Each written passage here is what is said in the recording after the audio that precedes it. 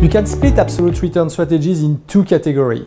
The one that are relying on a systematic approach and the one that have a discretionary approach.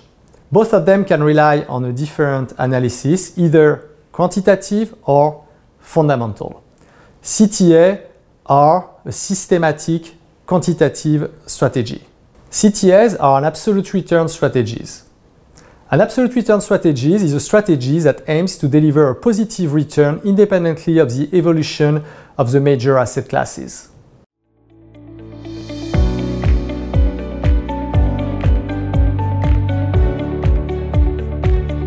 Systematic quantitative strategies are strategies that relies on signal generated by algorithm to take position on the financial market. In the case of CTAs, those algorithm main objective is to identify trend on financial markets and to take long or short position in the major asset classes to benefit from those trends.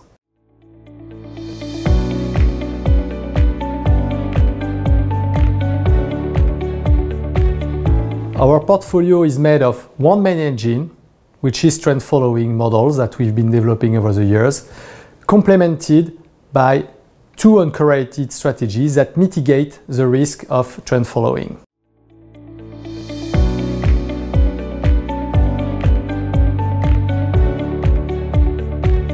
We build trend following strategies that are our main engine of performance. Trend following strategies carry specific risk that we mitigate by implementing two complementary strategies.